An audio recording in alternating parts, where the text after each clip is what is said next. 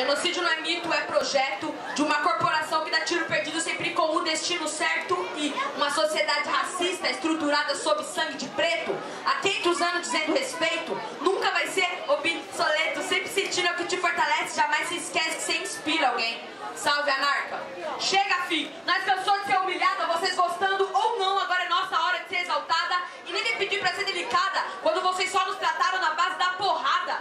Até protagonista tá pouco, nós não quer tomar a cena, queremos o filme todo. E se reclamar, nós faz o dobro. Sempre nos apresentaram que da nação a gente era escória. Ou vocês não lembram do ensino médio e sua aula de história? Cabral descobriu, civilização surgiu, Princesa Isabel salvou, escravidão passou, agora geral é igual. Ei, não esquece de colocar nesse livro aí um textinho sobre zumbi da Andara, só pra eles não falando que a gente não colocou nada. Crescemos achando que a nossa única história foi a escravidão, e não quero interromper essa trajetória, porque também descendemos de reis e rainhas, irmão. Agora vocês querem ver esse preconceito camuflado, nós alcançando tudo te deixa irado, mas se você finge que não lembra, tu precisa ser lembrado, que os pretos estão em todo lugar. Você acha que vão nos derrubar? Tivemos Carolina de Jesus pra se inspirar. E não se faça de sonso.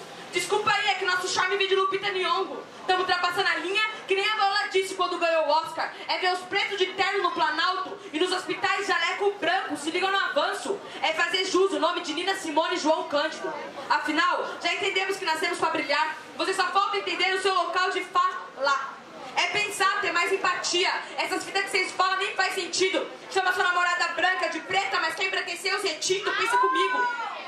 Vocês zoavam o nosso traço. Agora quer ficar igual, passando batom fora do lábio? Não dá pra entender, mas nós não vai esquecer. E cuidado que nós tá na cobrança e na militância. Nós só usa panela se for pra dar com ela na sua cara, então rala. Que nós não vai deixar passar. Com nós vocês só querem arrumar treta. Não vem com essa de morena, parda ou mulata, nós aceitamos menos que preta.